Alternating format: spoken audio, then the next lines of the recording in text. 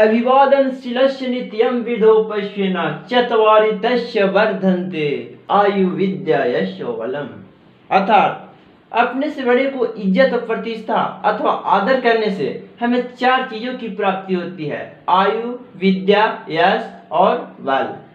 इसलिए अपने से बड़े को हमेशा आदर करना चाहिए। नमस्कार, मैं धर्मेंद्र कुमार कश्यप, धर्मेंद्र मोटिवेशनल क्लासेज में भारतवर्ष के समस्त दर्शकों और श्रोतागणों को हार्दिक स्वागत करता हूँ। जैसा कि आप लोग को मालूम होगा, ये त्रिकोण मिति के सातवीं कक्षा है।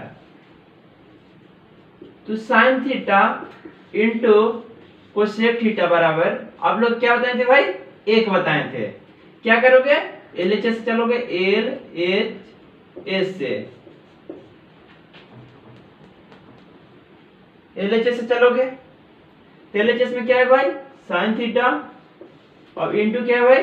कोसेक थीटा अब क्या बताए थे आप लोग भाई? लाल बट्टा का।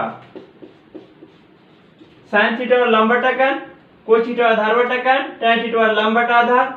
साइन के opposite cosec theta cosec theta और कन बटा लंब कोस के opposite sec theta sec theta और कन बटा आधार। tan के अपोजिट कोट थीटा तो कोट थीटा आधार बटा लंब। तो बताओ, साइन थीटा क्या होगा भाई? लंब बटा कर्ण। यहाँ पर क्या लिखोगे? लंब और बटा कर्ण। इंटू कोसेक थीटा क्या होता है भाई?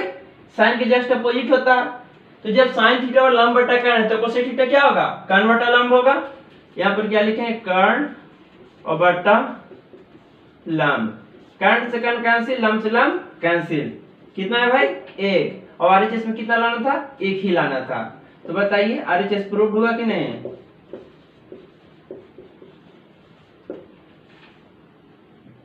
समझिए बात के। अभी यहाँ से यदि आप निकालना चाहो साइन थीटा तो क्या लिख सकते हो? एक के तो एक लिख ही सकते हो। इधर देखो तो ध्यान से कोसेक थीटा गुना में है ना? तो गुना उल्टा क्या था भाई? भागा। अब बताना।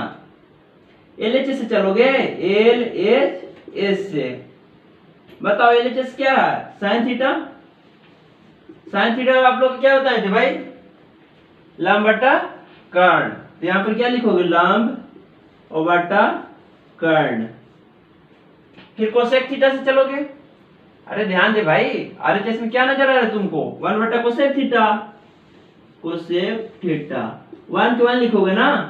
अब कोसेक थीटा क्या होता है भाई? ध्यान से देना।